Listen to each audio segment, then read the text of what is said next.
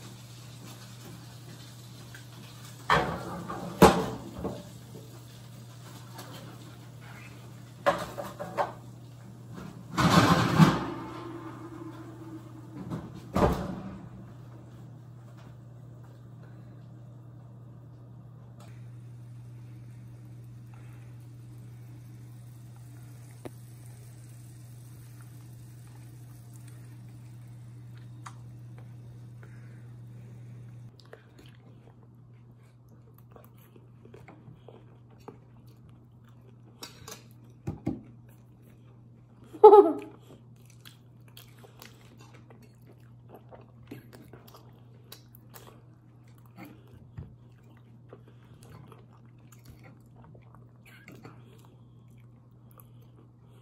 lost among women because we are seeing women move away from the party ever since Tom.